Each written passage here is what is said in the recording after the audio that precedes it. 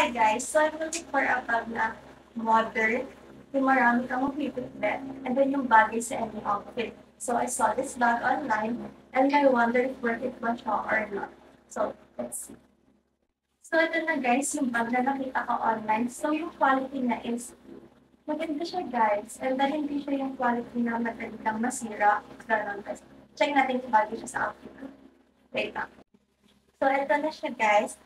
Yung bag. So may kanya naman na it suits well in my outfit and let's get it careful. So ito na yung whole fit natin. And then, ito guys, meron siyang five compartments and it can fit a lot of things. So, ayan, meron siyang five compartments. One, two, three, four, and then five sa likod.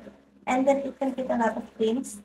So, meron ako dito perfume ko, power bank, AirPods, wallet, and even my makeup, especially dito kasi dami ng compartments.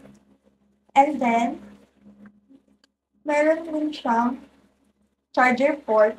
So, pwede mo ilagay dito yung charger mo. So, hindi ka na mahihirapan kapag low-bat ka. So, another good thing about this bag is this is waterproof. So, ito yung proof na waterproof siya. Yan, pabasain ko. Ayan, basa na siya. And then, tingnan natin kung basa din yung loob. Ayan guys, hindi na basa yung loob ng bag. So, super worth it talaga.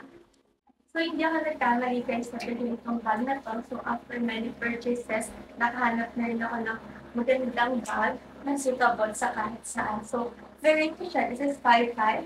Kasi super worth it siya guys. So, ano pang hinihintay nyo? Get it now.